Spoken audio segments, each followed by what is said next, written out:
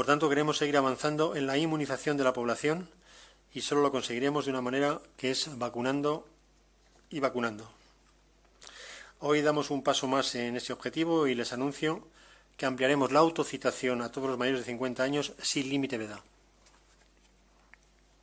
Este sistema, como ya dijimos el día de su presentación, el pasado 26 de mayo, es válido para aquellas personas que están pendientes de recibir la primera dosis.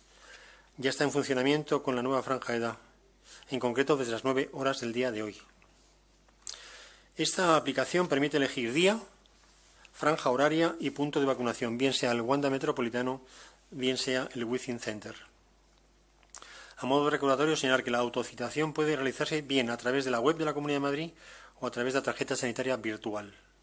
El usuario tiene que introducir su CIPA o su DNI o pasaporte y añadir su fecha de nacimiento. Una vez que seleccione eh, la cita, recibirá un código de verificación a través de un sistema de SMS para proceder a su confirmación.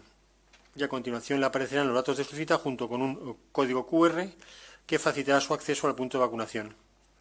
Y al menos con 24 horas de antelación recibirá un SMS que le recordará la cita. De forma paralela, la población que no utilice el sistema de autocitación seguirá siendo convocada a vacunarse mediante la citación vía SMS en su teléfono móvil o por llamada telefónica.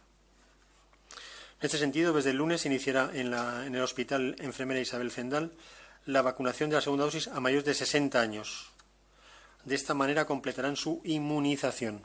Este grupo de edad por encima de 60, que es grupo, por tanto, de más riesgo.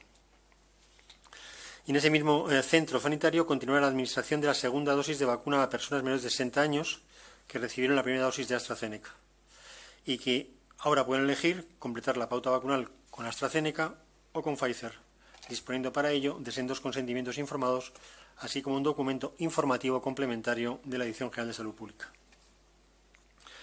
Igualmente, más de 20 hospitales públicos de toda la región se irán inmunizando a la población general con edades entre 50 y 59 años. Al mismo tiempo, en hospitales públicos y también privados de la región avanzará la inoculación de dosis a pacientes de grupos con condiciones de muy alto riesgo. Y seguimos vacunando a mayores de 68 años en los centros de salud.